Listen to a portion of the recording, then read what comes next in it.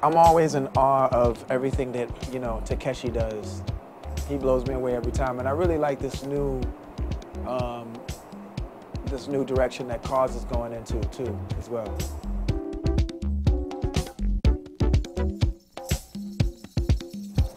I think half of it is is about helping other folks, but I think the other half is just like the the idea of discovering and watching something grow and and and, fulfilling its destiny. Being a part of that manifestation is what I like.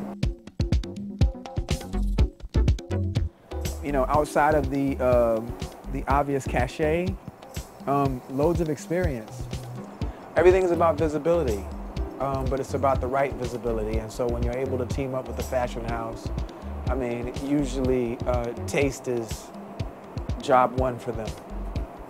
So it, it's kind of, it's good when you're able to work against the canvas of, uh, of a major, a major fashion house.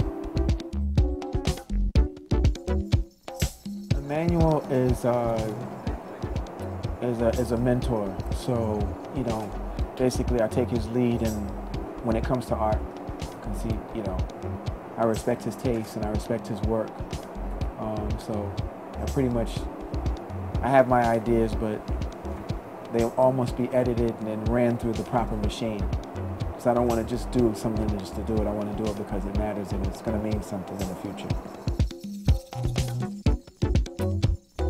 Uh, I like collaborating because I'm able to learn and sponge. Um, and when I do things on my own, it's basically basically because that's probably what makes the most sense at that time. But you know, I'm I'm usually open to what makes sense. It's gotta make sense at the end of the day. I think that's the most important part is the is the is the learning experience. Just sponging as much as you can while you're working around masters.